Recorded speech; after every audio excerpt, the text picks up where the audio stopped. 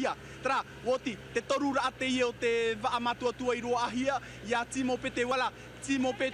qui fait cavalier seul, euh, cavalier seul près du rivage de l'île de Tahaa. Je vous assure, là, vous, le voyez à l'image, c'est la troisième équipe vétéran que les postiers euh, dépassent. Alors, euh, Fahoro, Timo Pété qui a changé quatre rameurs, je connais là le Fahoro le fils de Serge Toutear Ihoatua, la plupart des pirogues seniors euh, ont pris euh, côté récif.